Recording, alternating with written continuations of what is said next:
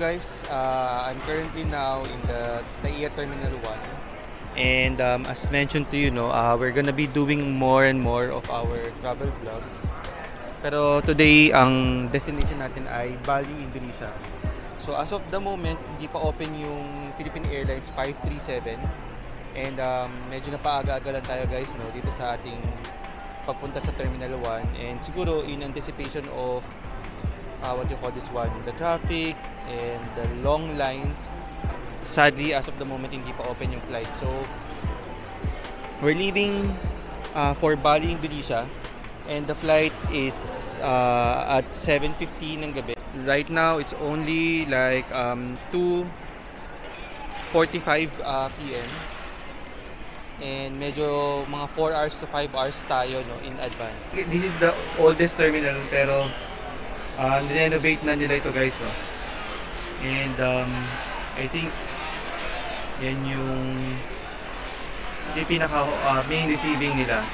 Sadly um, I thought no na meron tayong ma matatambayan no while we are here. Pero itong receiving area nila or yung check-in area nila ay mainly for terminals. Walang walang maupuan and walang uh, matambayan. While, while hindi pa open yung um, check-in area natin no for for Philippine Airlines. Siguro ano, uh, unahin na lang muna natin magbayad na lang muna tayo ng travel tax. And I think um, yeah, wala tayong magagawa kundi tumambay muna muna here while we're waiting for our turn. So let's go muna no sa may travel tax um, area.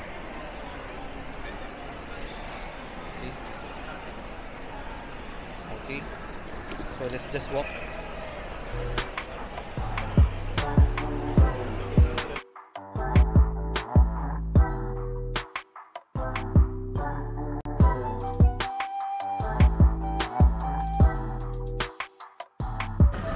Okay, so guys, nakapagbayad na tayo ng travel tax, no?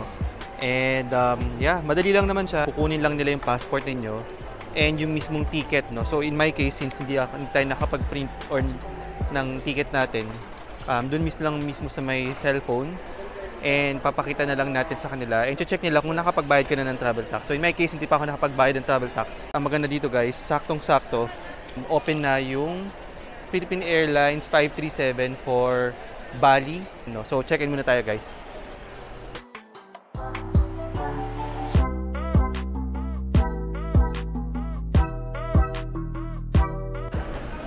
So, so guys, ay tayo kay ate, no? Hello guys, welcome to my vlog. So, online check-in na po tayo. And yeah. Okay. So, tara, let's go na.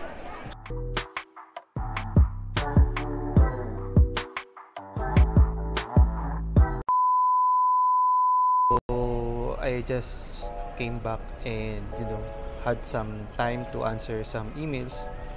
Pero siguro kwentuhan ko kayo no, kung ano ba yung mga itinanong sa akin doon sa immigration no, papunta dito sa may papunta sa may Bali um, Indonesia. Pero yung na-encounter ko kanina is yun yung pinaka weird. Ang weird lang kasi uh, to be honest with you guys, um, that's the only experience no na na nagkaroon ako na tinanong ako ng mga ganong uh, questions Okay guys, so ngayon papunta tayo sa ating gate number. So kung mapapansin ninyo, no, hindi naman masyadong maraming tao sa ngayon dito sa Terminal 1. And medyo yeah, medyo medyo light lang naman. So I don't think sobrang sobrang maraming tao no. Okay, so mukhang may may na pasahero. So pinapamadali nila. So ito yung gate 9. Um, I don't know lang guys no kung saan ba kayo laging nagte-take ng flight niyo no? Kung Terminal 1 ba, Terminal 2 or Terminal 3.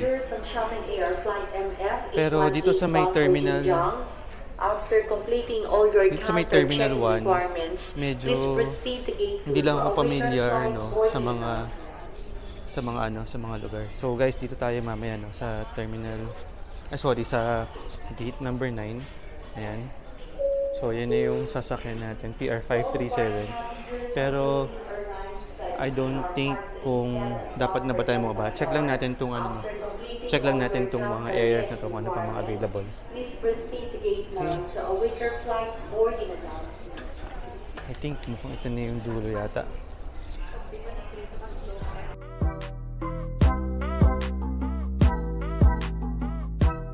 Maliit lang itong Terminal 1 and medyo wala tayong masyado pang makikitang mga lugar guys no.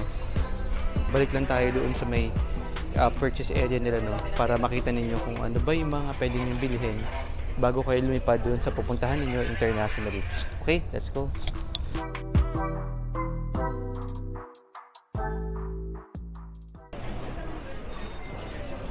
Okay, so pag medyo napaaga-aga kayo, meron ditong Starbucks sa loob. So, pwede nyo, pwede mo na kayo tumambay dito. And uh, this is also where I spend my time no, answering emails.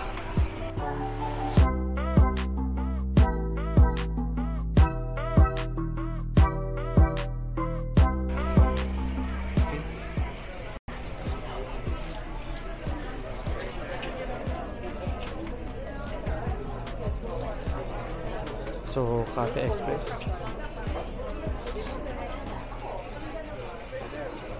And also there is I think Subway. Yep. I think meron yung Subway. Okay, so in this area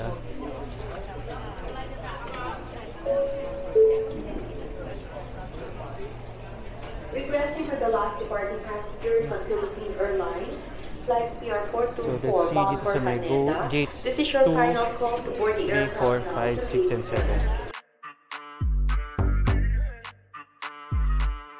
So yan, pupunta. I think this is PR424 Haneda. We're going to Japan.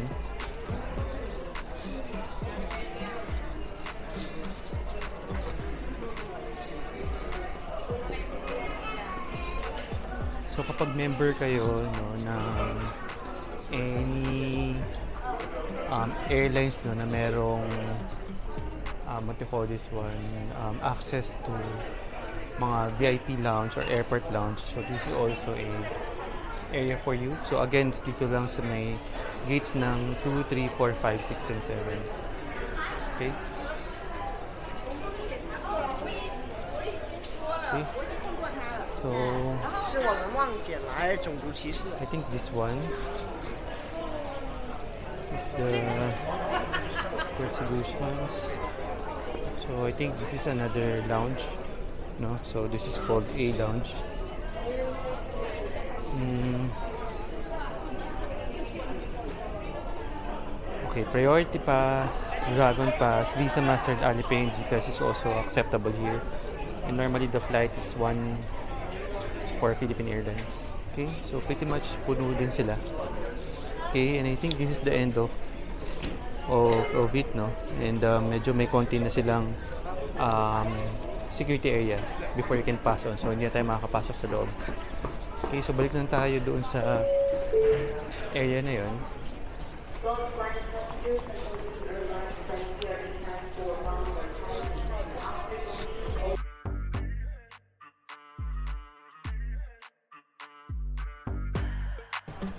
You wanted to buy Lacoste, no, for pasalubong or you know, just for you, you can also do so.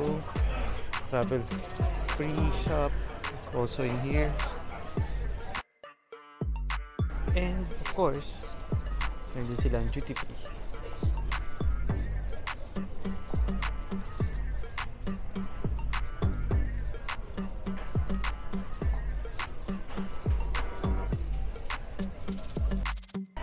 Uh, that area is uh, the immigration side or yung final um, um, scanning after mo ng immigration.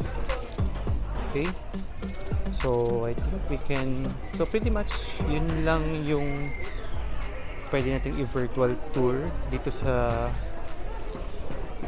um, Terminal 1. Uh, and as I mentioned to you guys, medyo maliit lang itong um, Terminal 1. So for now, yun na lang muna yung masishare namin sa inyo no, dito sa virtual tour ng NAIA Terminal 1. And if ever guys no, na meron tayo pang mga videos na pwedeng i-share with you, ipapakita lang namin sa inyo while we are doing um, our travel vlog going to Bali, Indonesia. So stay tuned and please watch us for more uh, videos. Bye!